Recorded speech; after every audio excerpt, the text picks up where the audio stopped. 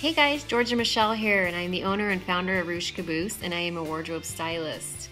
And today, what we're going to be talking about is the little black dress.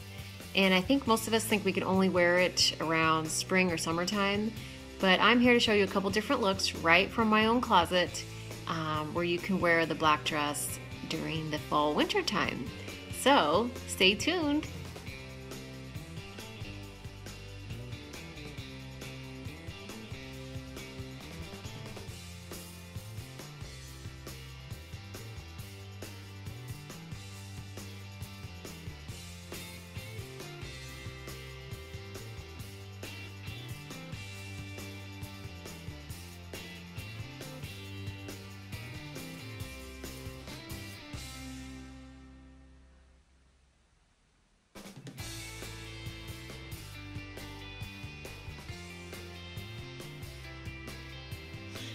And there you have it guys, there's a couple different looks for you.